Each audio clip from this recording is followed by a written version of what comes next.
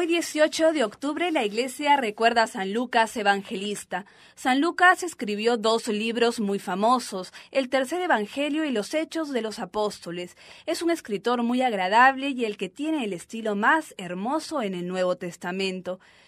Lucas era médico, San Pablo lo llamaba Lucas el médico muy amado, era compañero de viajes de San Pablo. En los Hechos de los Apóstoles, al narrar los grandes viajes del apóstol, habla en plural diciendo Fuimos a, navegamos a, y va narrando con todo detalle los sucesos tan impresionantes que le sucedieron a San Pablo en sus cuatro famosos viajes. Lucas acompañó a San Pablo cuando éste estuvo prisionero, primero dos años en Cesarea y después otros dos en Roma, es el único escritor del Nuevo Testamento que no es israelita, era griego. El poeta Dante le dio a San Lucas este apelativo, el que describe la amabilidad de Cristo. Un autor llamó al Evangelio de Lucas el libro más encantador del mundo. Como era médico era muy comprensivo. Dicen que un teórico de oficina ve a las gentes mejor de lo que son. Un sociólogo las ve peor de lo que son en realidad pero el médico ve a cada uno tal cual es.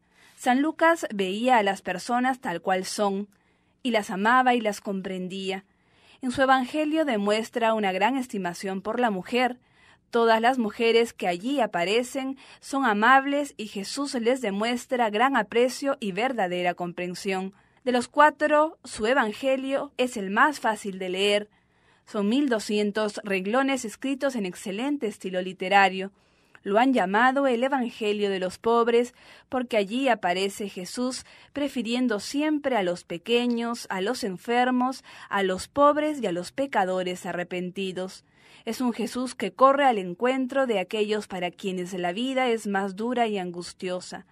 También se ha llamado el Evangelio de la oración, porque presenta a Jesús orando en todos los grandes momentos de su vida e insistiendo continuamente en la necesidad de orar siempre y no cansarse de orar.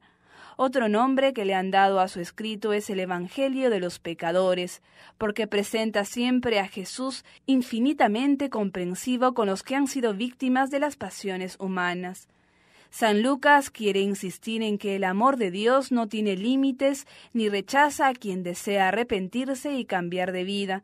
Por eso los pecadores leen con tanto agrado y consuelo el Evangelio de San Lucas, y es que fue escrito pensando en ellos. Su Evangelio es el que narra los hechos de la infancia de Jesús, y en él se han inspirado los más famosos pintores para representar en imágenes tan amables escenas.